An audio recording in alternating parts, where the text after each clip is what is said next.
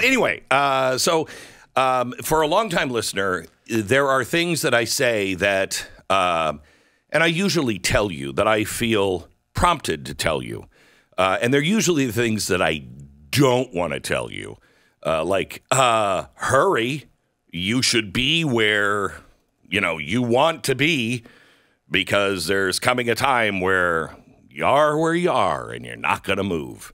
Um, but uh, every year we just look at the news and we say, okay, without prompting, just what is it that we think the trends are showing us? So let's go over this time last year. These are the things that I said would happen in 2022. Stu, you be the judge. Okay. Okay. Uh, COVID 19 just sort of fades away.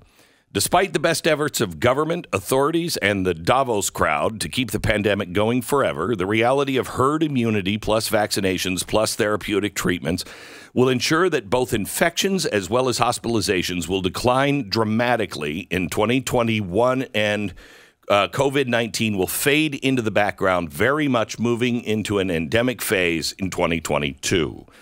Um, for the most part, the pandemic will fade into a bad, muddy memory, like the way a nightmare can fade into just an unpleasant feeling for a couple of hours after you wake up from it. I mean, I think that's exactly what happened. Right? Do you? I, I think that's Yeah, I think the only thing that I missed here was uh, that it was going to start really turning. Right now, I think in 2023, by the uh, by the end of this coming year, and I'm going to get into my predictions uh, next week for this year, but I think uh, this is the year where it really starts to turn ugly and flips the other way. It. What do you mean? It's- you're saying like a flaring back like up? right now right now i think there is this feeling in america that uh, those vaccines were not so good even though even the people even from the people who took the vaccine they're like uh, starting to question it i think it's going to turn ugly the other direction um, you know against the vaccines and against the Hmm. people We'll see on that one. I think the uh, your the prediction of it fading away though seems really exact to me. I mean, Yeah, I, I- I was just, just glancing at the stats, which I haven't, I don't you know pull up all that often anymore, and that's a Yeah. good sign Right. of it, right? That, uh, that that what you said is true, and I think like it's to the point now where it's hard to really remember that that 2020 era where like you were you know Yeah, it was like, everything. everything was locked down Everything. or like you know you were wearing masks everywhere Yeah. it just seems like a bizarre memory from Yeah, our past it does. so that one seems exactly right Uh, then the next one was wars and rumors of wars. Whether it's Russia invading the Ukraine, ding, ding, ding, ding, or China invading Taiwan or another Iranian caused blow up in the Middle East, 2022 is likely to see uh, one or more wars of the words uh, from 2021 erupting into a shooting war in 22. First one I put was Yeah. Russia versus Ukraine. Tremendous amount of digital ink has been poured into discussions of Putin's desire to protect Russia's so-called soft underbelly from threats within the EU. EU. This narrative relies on World War II era geopolitics and reasoning. The reality is there's currently zero countries that represent even a cursory threat to Russian territory. The answer to the question of why is Russia being so aggressive towards Ukraine is much simpler, and it is often the case when it comes to Putin's political motivations. It's entirely financial. Uh, this one is based on commodities. Ukraine is rich in oil, natural gas, and rare earth minerals. Uh, go into the energy thing and that they need to be able to have open pipelines set right to Europe, yada, yada, and that they would uh, invade, and it would be most likely that we would get into uh, get involved in a shooting war in Ukraine. yeah i mean um, newsflash that one happened Right. Uh, the next one I said was China versus Ukraine. Uh, sorry, China versus Taiwan. It would seem almost laughable just a few years ago that China would even entertain the idea of a military intervention in Taiwan. However, Chi- uh, China may have a unique opportunity in 2022 that the world is massively distracted and distanced from Taiwan because what will happen in Ukraine and Russia. And that one obviously did not happen. However, it does seem like it's on the docket. Yeah, it know? is on the docket. I mean, you know, a year ago that was we weren't in Ukraine. They weren't in Ukraine. This does the Ukraine thing sets off a series of events that can Um, Yes. easily lead to Correct. something like this. Um, war on crypto. See what you think of this one. Uh, in 2022, central banks and government authorities will move into an active mode against cryptocurrencies, most likely using some eye catching headlines about protecting consumers. But to successfully use that approach, authorities need an event, a major crime syndicate using crypto. A massive crypto exchange theft inve- uh, uh, affecting investors. Wow, this is this is written before 2022, right? This is 2021. is- you wrote these. Yeah, yeah, yeah. Wow. Uh, suddenly, crypto will become a bad guy thing, something the government needs to step in and protect us from. First, we'll see laws that make owning or transacting with cryptocurrencies legal, and that'll be enough for most people, especially because central banks will be launching their own digital currencies as a safe replacement. One of the uh, one that is, of course, tracked by Uncle Sam. Now, That- all of yeah. that didn't happen, but Well, you got the S, uh, SBF Yeah. FTX thing. Yeah. So that was the the the event, right? And that happened late enough in the year that they're not Here's- into deep legislation yet, but you- they are talking about it coming. And uh, one of my predictions uh, coming for next year is it, it- we are going to have massive, well, I, I won't tell you, but cryptocurrency uh, and uh, central bank currency is coming. Uh, but what here's what I said in 2022, central banks and government authorities will move into active mode against cryptocurrencies uh, based on eye-catching headlines about protecting consumers. I, I think that's accurate. sure. I, I, that, I mean, uh, that one is well underway. Yeah. uh, of completing. Uh, the next one I said market crash ahead. Uh, global equities experienced uh, significant sell-offs in Q1 of 2019, Q2, uh, Q1 of 2020. While COVID 19 got the blame for the sell off, similar sell off in early 2019 had no apparent cause. From April 2020 to February 21, the Fed made more than $9 trillion of loans to the largest investment banks in the U.S., and that's on top of the trillions of other stimulus in Fed or Uncle Sam currency printing that saw trillions more enter the economy over that time.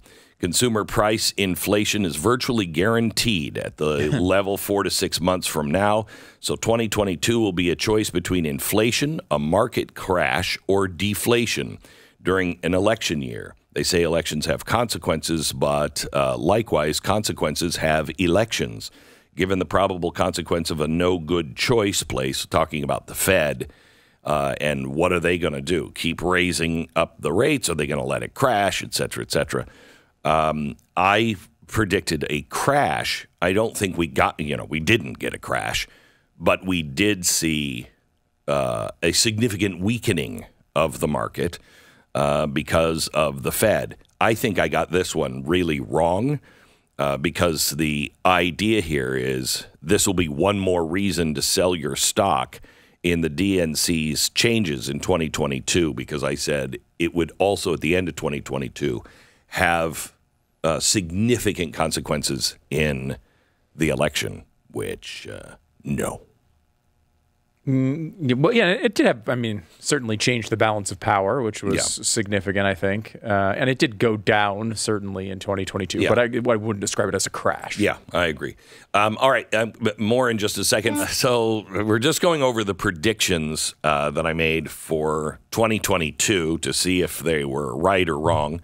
So far, one was pretty wrong, but the rest of them were spot on.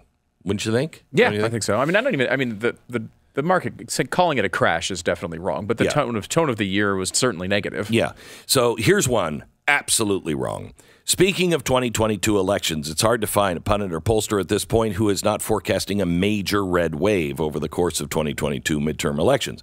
Given the Biden administration's insistence on supporting policies and programs wildly unpopular, uh, it's not going to be surprising. Voter enthusiasm for registered uh, Democratic voters have never been this low, blah, blah, blah. And I said it would be a major red wave uh, and then some. No.